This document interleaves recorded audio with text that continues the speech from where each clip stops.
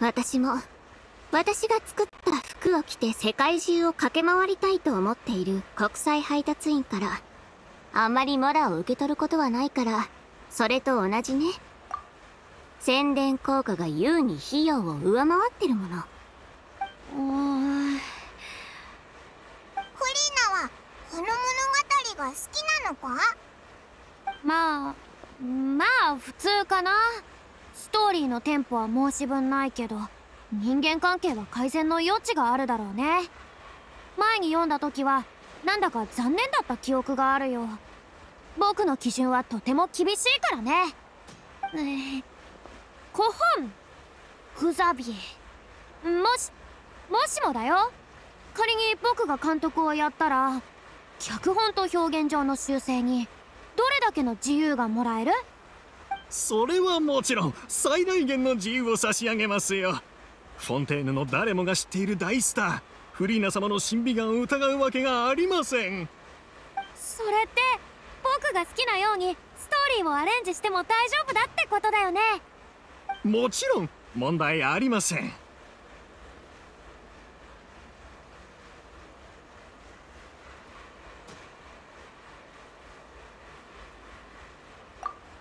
ふむ。いいだろ。う結局のところ君たちはやっぱり僕が面倒を見てやらないとダメみたいだからね。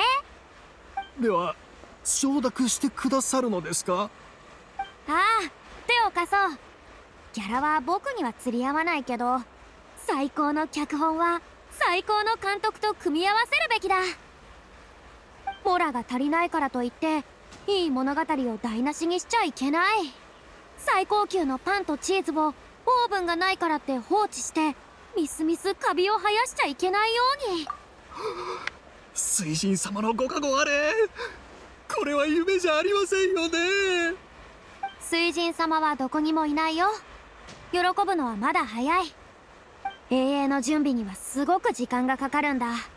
一番難しい脚本と配役が決まっているとはいえこれから撮影場所を抑えたり照明や道具を。ああそうだ。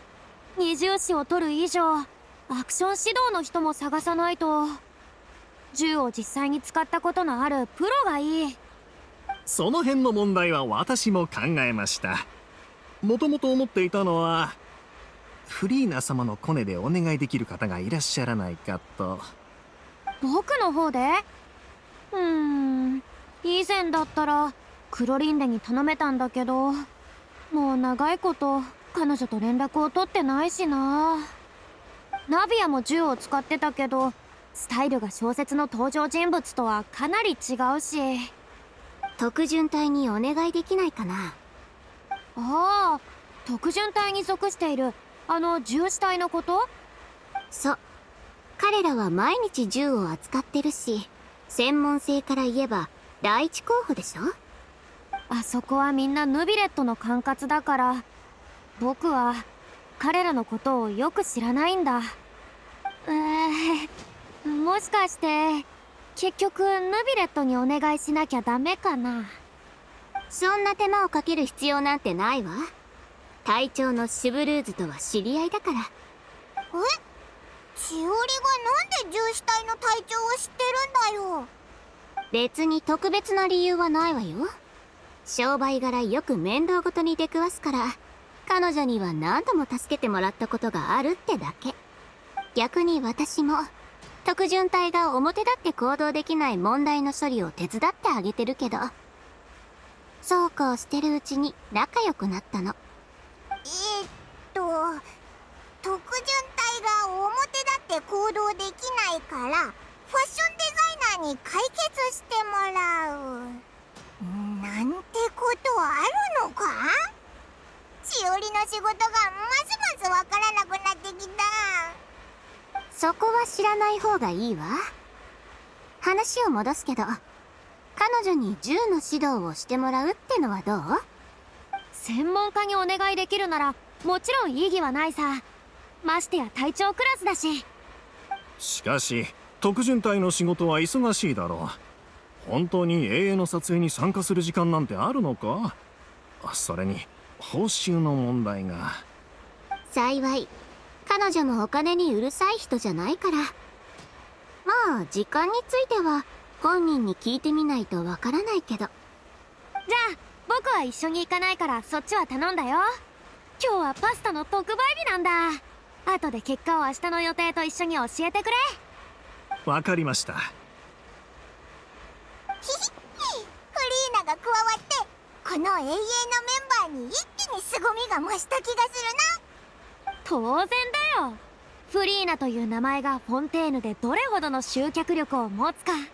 公開日初日にせいぜい感謝するといいさ。その時歌劇場では立ち見席の券馬で完売になること受け合いだろうね。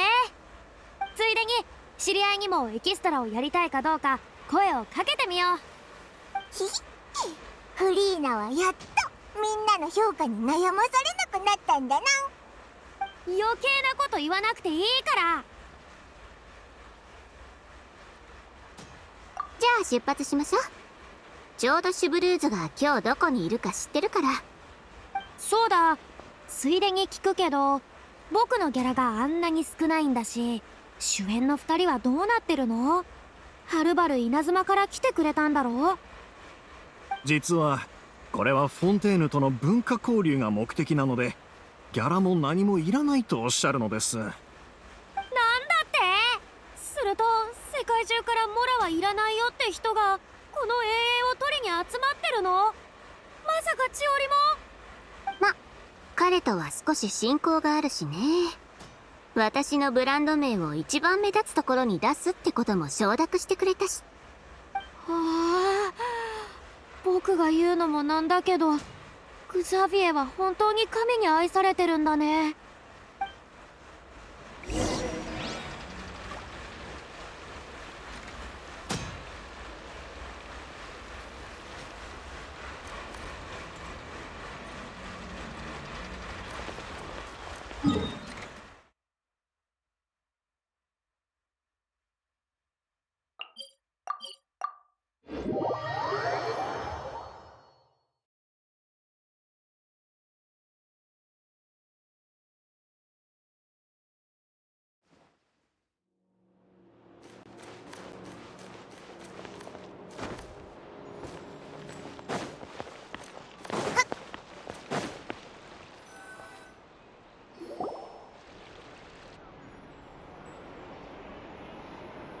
ここよ。ん周りには誰もいないけどその重視隊の隊長ってのはどこにいるんだ？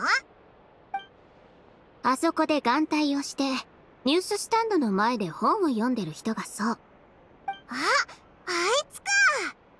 なんとなく周りの人と雰囲気が違ってかなり威厳のある感じがするな。君たちはここで待ってて私が呼びに行くから。今は勤務時間中だしそのまま行くと迷惑かもしれない。勤務時間中？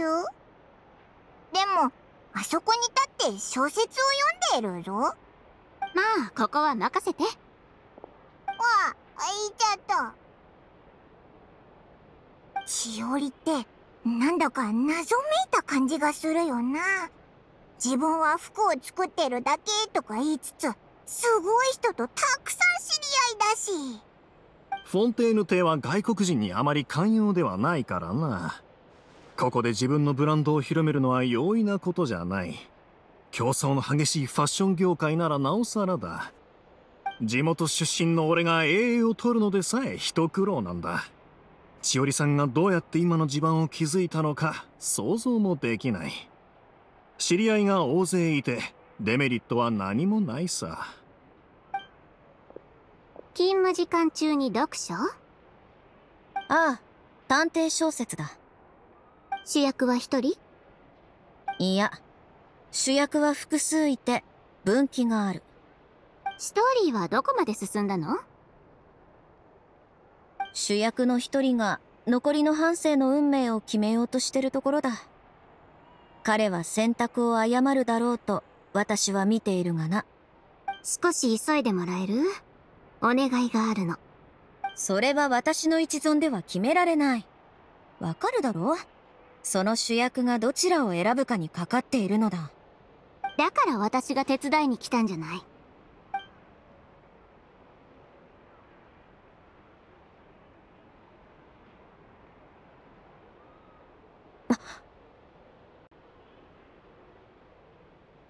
なるほど。やはり彼は間違った選択をしたようだ。止まれ何をなさるんですか？その手に持ってるものを差し出せ。本一冊だけですよ他は何も買っていませんでは私が見ても構わんな。警察隊員さんここで一日中立ち読みしていても文句は言いませんがうちのお客を脅かさないでください商売になりませんよここまで来てしらばっくれるな。貴様も逃げられんぞ。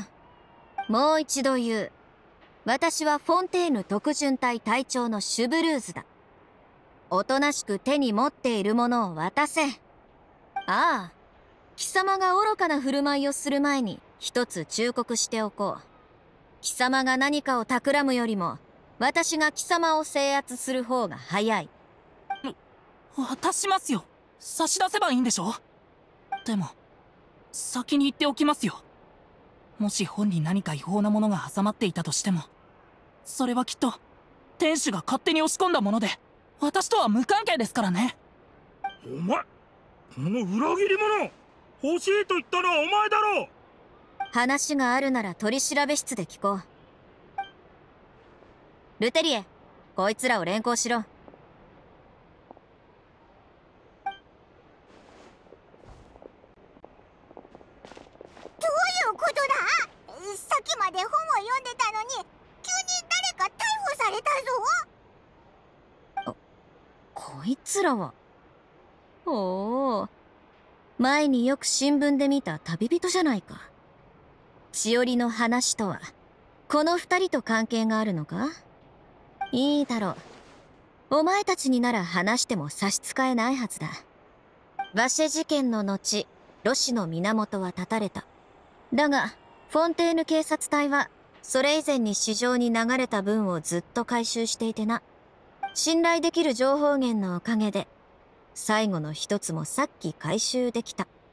なるほどシュブルーズは犯人を捕まえるためにあそこで本を読んでたのかうわそうだまだちゃんと自己紹介してなかったなオイラはパイモンこっちは旅人でこいつはゴザビエだはじめまして。私はシュブルーズ。肩書きは二度も紹介する必要はないだろう。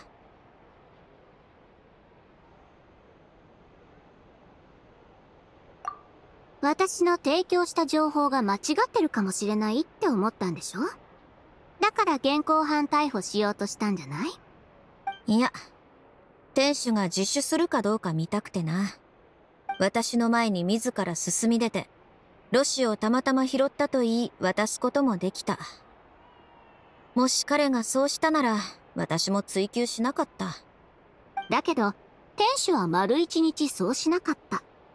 逆に私が君の視線を遮ってあげると、彼はその隙を見てすぐさま売り飛ばした。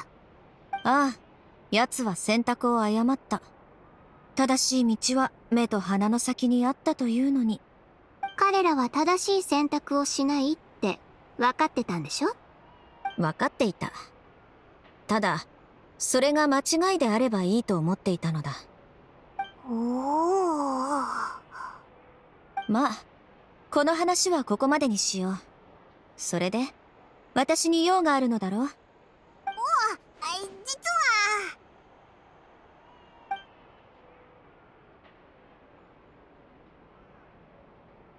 二重視か。この話を選ぶとはいい目をしてる。私に何をしてほしいのだ？役者のアクション指導ということでいいのか？ああそうなんだ撮るからには本格的に撮りたいと思ってる。役者が銃を構える姿と銃器に対する理解をできるだけリアルな重視に近づけたい。だがこの仕事は時間をかなり取ってしまうかもしれない。撮影の全工程に同行してもらう必要があるしそれからそのギャラが。それ以上言わなくていい。参加しよあっさりオッケーしてくれほ本当に？本当にこんな低予算の衛泳を指導してくれると？うこのくらいわけはない。私が担当していた捜査はさっきので一段落ししばらく喫緊の事件もないしな。それに私はこの小説が好きなのだ。家にハードカバーの本だってある。正義が悪に勝つ物語は何度読んでも飽きないじゃあこれで決まりね。あ明日撮影現場で会おう。なんということだ。あまりにも順調すぎる。え急いでフリーナ様に知らせないと。あそれから道具係と正面岸に機材を用意してもらって明日からクランクインだ。落ち着いてグザビエ永遠の撮影は一日じゃ終わらないんだから。けど私も帰って出演者のために衣装とメイク道具を用意しなきゃ。じゃあ今日はここで別れようぜ。旅人パイモン。二人は残ってくれ。話したいことがある。私は先にグザビエを送って帰るわ。この人もう興奮してまっすぐ歩けないみたいだからクランクイン初日のイベントが噴水の中にプロデューサーがいないか探すことになったらごめんだしね。それができるといいんだけど。